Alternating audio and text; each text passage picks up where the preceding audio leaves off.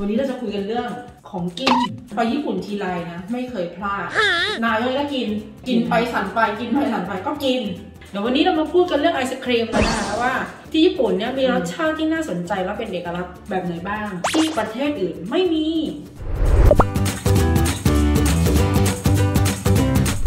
สวัสดีค่ะพบกับรายการแฟนรายการรีวิวดูค่ะพี่เจี๊ยบค่ะ พูดถึงญี่ปุ่นนะพี่เจี๊ยบก็จะมีของแปลกๆเยอะใช่ไหม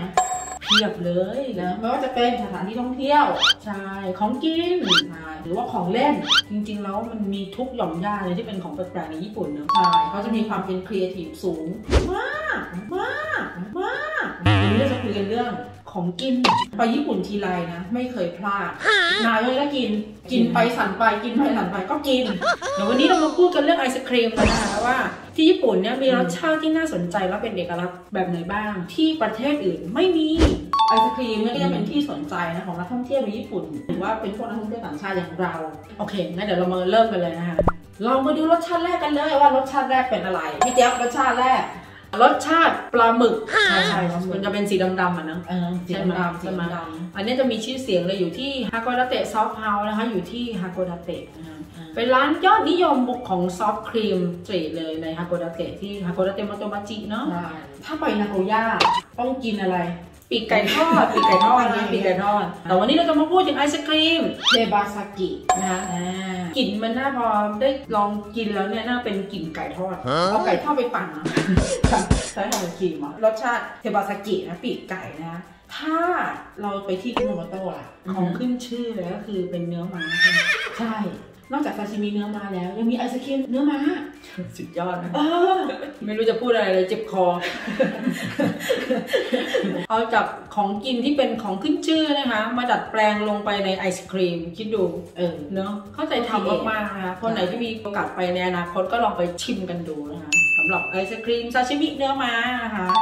เมื่อกี้ก็สัตว์ใหญ่ไปแล้วเนอะอืมเราลงไปทะเลบ้างสัตว์น้ำสัตว์น้ำสัตว์น้ำไอศครีมแมงกะพรุนโอ้โหจินตนาการไม่ออกเลยว่าเวลากินเนี่ย มันจะมีแบบว่าหย่อยๆหนวดหนวดของแมงกะพรุนเนี่ยมีแบบมาโปะหน้าบนไอศครีมหรือเปล่า แล้วรสชาติมันเป็นแบบไหน เพราะว่าเราเคยทานแมงกะพรุนที่บ้านเราเวลาใส่เย็นตาโฟเนี่ยก็นะดึงมันกรึบกรึบมันก็กรอบๆแต่มันก็ไม่มีรสชาติอะไรเนาะอันนี้ก็แปลกอีกอันหนึงนะคะที่น่าสนใจแล้วก็อีกอันหนึงก็คิดว่าน่าจะมีคนเคยลองคือไอศครีมเบียร์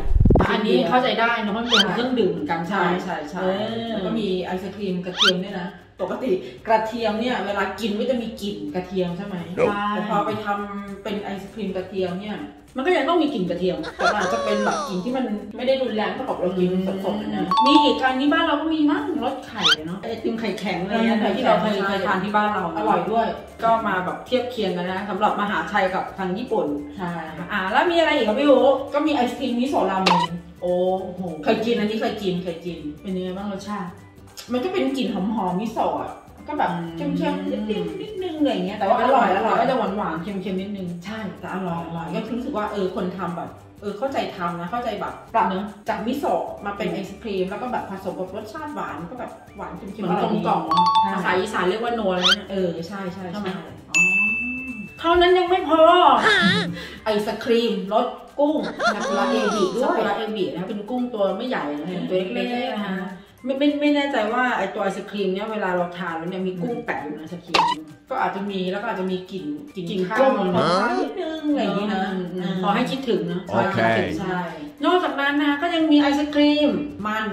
ซัตสึมาอิโมะนะคะอ่าก็คือเป็นมันหวานๆเนอะใช่จริงๆถ้าเป็นไอศครีมมันหวานเนี่ยซัตสึมาอิโมะเนี่ยมีชื่อเสียงก็อยู่ที่คาวาโมเอะเออใช่นะจังหที่วัดได้ไซมีตามะชื่อเสียงเรื่องเรื่องมันหสวานวิตโปเตโต้นะสังเกตไหมว่าในแต่ละพื้นที่ที่มีอาหารการกินที่เป็นขึ้นชื่อของแต่ละจังหวัดนั้นๆน่ะเขาก็เอาอาหารการกินน่ะมาต่อยอดนะคะมาทำเป็นของหวานใช่จากของเนอะคาวก็มาต่อยอดเป็นของหวานเนอะทั้งที่เรามองว่ามันก็ไม่น่าจะไปกันได้ใช่แต่มันก็ไปกันได้ถูกต้องถูกต้เนอะอันนี้เป็นอะไรที่เจ๋งเหมือนกันเป็นนะความพิเศษนะเนอะของคนคิดนะคะใช่ แต่อีกอันหนึงเด่นคือแบบเด็ดกินแล้วเนี่ยทิ่มปากเลยไอศครีมมันรู้ไหมพี่เจี๊ยบไอศครีมตะบองเพชรเออ cactus อะเราเคยเห็นแล้วก็คือเหมือนกับว่าหน้าไอศครีมเนี่ยก็จะเป็นรูปตะบองเพชรเนอะอืมไม่ได้หมายความว่ามีแบบหนามแหลมๆมาโรยนะกินมีปากแดงเป็นอีกหนึ่งสกินรสแปลกจริงนะอันนี้รสแปลกจริงอันนี้ก็แปลกนะแต่มีอีกอันนึงแปลกกว่า เออเราพูดได้นะ ก็คือไอศครีม